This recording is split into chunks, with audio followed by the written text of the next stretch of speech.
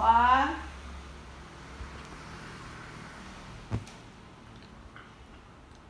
讲什么奶奶也不听对啊，啊？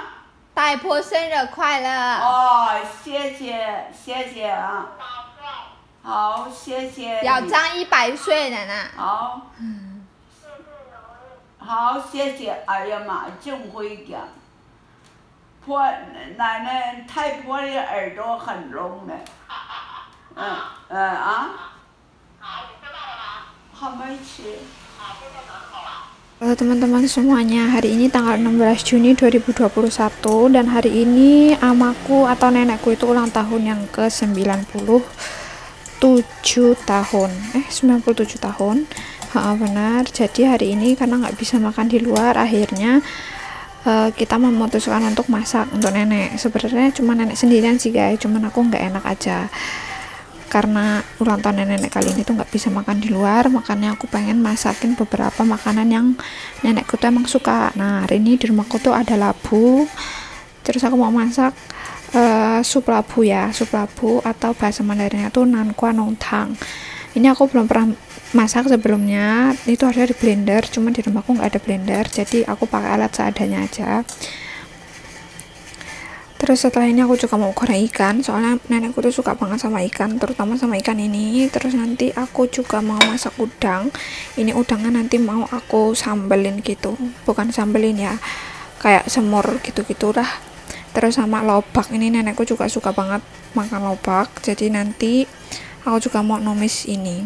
Sekarang aku mau ngehalusin si labu kuningnya dulu ini sampai halus ya teman-teman. Jadi karena labunya itu kurang lembut atau kurang halus, jadinya aku masukin ke dalam penghancur. Eh, ini tuh biasanya untuk ngehalusin bumbu gitu, cuman kayaknya bisa juga untuk labu biar agak lembut sedikit dan nggak ada tekstur yang keras. Nah ini teman-teman setelah aku masukin ke dalam mesin penghancurnya, jadinya kayak gini itu kan, jadinya itu lembut dan pokoknya enak deh. Pokoknya halus sama aja kayak di blender sih menurut aku. Cuman manual gitu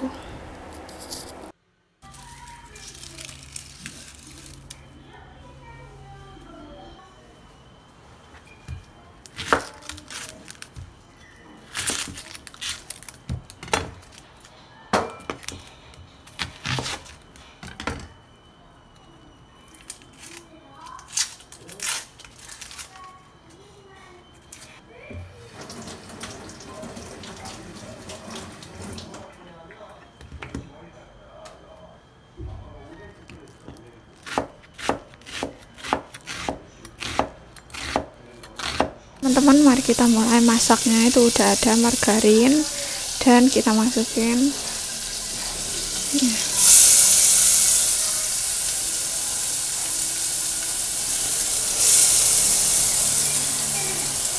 Gosong nih guys.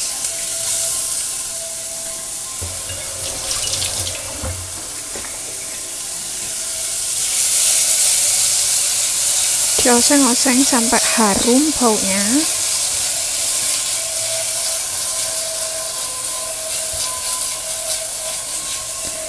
sampai baunya harum dan wangi.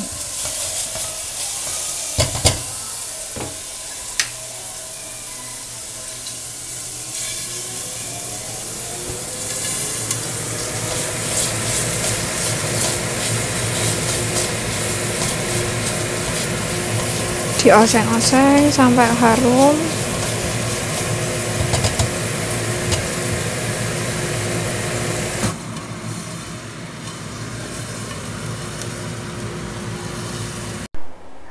lanjut tadi setelah labunya dimasukin labunya yang udah halus dimasukin ke dalam panci kita tambahin air dan uh, dikasih garam. Terus dikasih garamnya kan ada banyak ya teman-teman. Soalnya bumbunya kan cuma garam doang sama lada bubuk.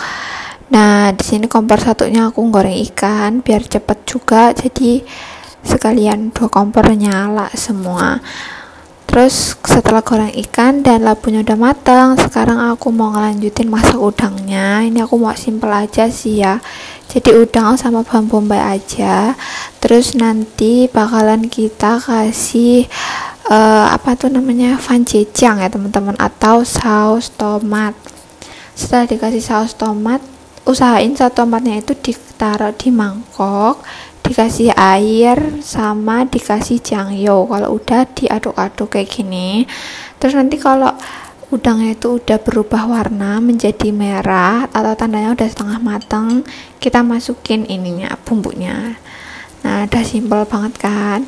Terus kita tutup pancinya oseng-oseng tunggu sampai matang sampai bumbunya itu meresap ke dalam udangnya pokoknya sampai matang dan nanti kalau udah matang kita kasih daun bawang biar ada ijo-ijonya. Gitu aja sih teman-teman. Simpel aja tapi ini enak. Terus kalian juga cicipin nanti kalau misalnya kurang asin atau gimana kalian juga bisa tambahin garam tapi jangan banyak-banyak. Karena jangyu itu kan udah asin ya. Jadi kita kasih garamnya sedikit aja. Dan kita kasih juga gula putih biar sedap soalnya kan nggak ada micin. Jadi kita kasih gula putih. Maaf dah. Sekarang udah selesai semuanya. Tinggal nungguin bosku pulang. Ternyata bosku mau kerja setengah hari aja karena hari ini mbahku ulang tahun.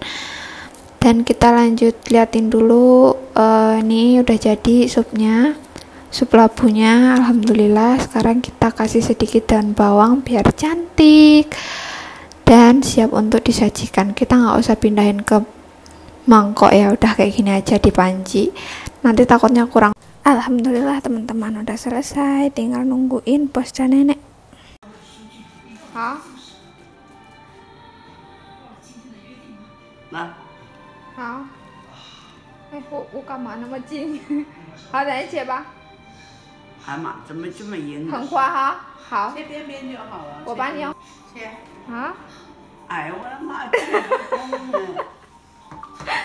切不动了可以了，奶奶这个也坏了，你看，真的很硬吗，大哥？